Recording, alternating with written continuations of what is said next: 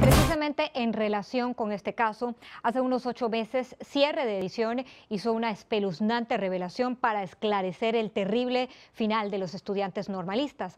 Ahora que se conoce el informe de la Comisión de Derechos Humanos, que coincide con la investigación de ese momento liderada por Enrique Gratas, se la volvemos a presentar. Vean ustedes. Estamos siguiendo las pistas de una espeluznante revelación que pudiera esclarecer de una vez por todas el terrible final que tuvieron los normalistas desaparecidos en Guerrero. El satélite Terra de la NASA habría detectado claramente un gran incendio en Chilapa, Guerrero, el pasado 27 de septiembre. Aquí está la información. Muchos opinan en México que desde el principio los investigadores del gobierno se han empeñado en desviar la atención sin realizar las pesquisas en los lugares donde realmente ocurrieron los hechos.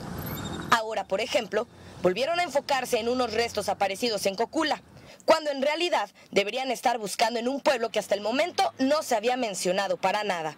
Chilapa de Álvarez, a unas dos horas de Iguala, donde se vio a los normalistas por última vez. Cierre de edición comprobó que el satélite Terra de la NASA detectó un grande incendio en Chilapa el 27 de septiembre, el único incendio en México ese día capaz de ser visto desde el aire.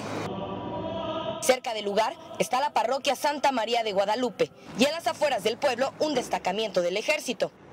Según testigos, la noche del 26 de septiembre, por pedido del alcalde de Iguala, José Luis Abarca, y su esposa, María de los Ángeles Pineda, el general Gámez de la zona militar 35 envió efectivos a Iguala para apoyar a los policías municipales, quienes además tenían vínculos con la banda de los Guerreros Unidos. ¡Ya mataron a uno! ¡Ya mataron a uno! Algunas horas, Cierre de Edición obtuvo estos videos grabados por normalistas esa fatídica noche y que demuestran cómo la policía iniciaba el ataque que terminó con la vida de seis estudiantes de Ayotzinapa. Algunos lograron escapar, pero aquí viene la nueva pista que hasta ahora no se conocía. El resto de los normalistas, 43 en total, fueron llevados en vehículos policiales y supuestamente también militares fuera de Iguala y separados en tres grupos.